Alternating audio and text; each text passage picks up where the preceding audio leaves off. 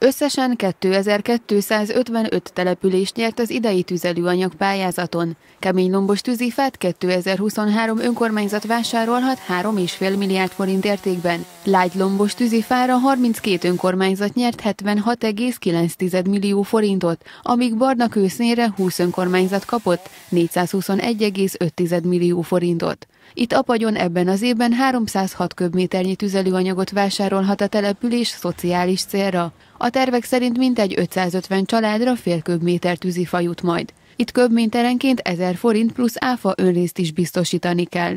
Az elmúlt évben sikerült saját forrásból is vásárolni tűzifát, és ugyanúgy szétosztottuk a családok között.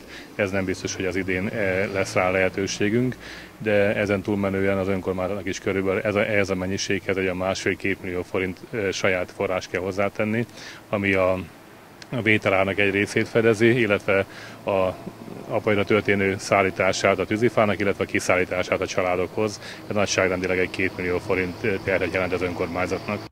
Levelek is a program elindulása óta a pályázók közé tartozik. Tavaly 209 köbméter tűzifát nyertek, idén már 360 köbméternyit. Ez azt jelenti, hogy a településen a rászoruló családok egy-egy köbméter tűzifát kapnak majd, de az idei mennyiség azt is lehetővé teszi, hogy egy-egy család többször is kapjon majd az elnyert mennyiségből. Leveleken további segítségre számíthatnak majd az önkormányzattól abban a szerencsés helyzetben vagyunk, hogy nem csak tűzifában voltunk sikeresek, hanem a szociális támogatásban is sikerült egy nagyobb összeget elnyerni állami támogatásból, és ennek is a kijuttatása december hónap 1 elején várható, amikor a lakásfenntartási támogatással rendelkezők számára 24 ezer forint támogatást, többlet támogatást tudunk adni, illetve a napokban fizetjük ki a gyermeknevelési támogatást is a rászoruló szülőknek. Egy gyermek után 16 éves kor alatt 20 ezer forintot, két gyermek után 30 ezer forintot, három vagy több gyermek után pedig 40 ezer forint támogatást tudunk adni családonként. Az önkormányzatok saját maguknak vásárolják majd a tüzelőanyagot a kormányhivatalok erdészeti igazgatóságai által nyilvántartott erdőgazdálkodókon keresztül.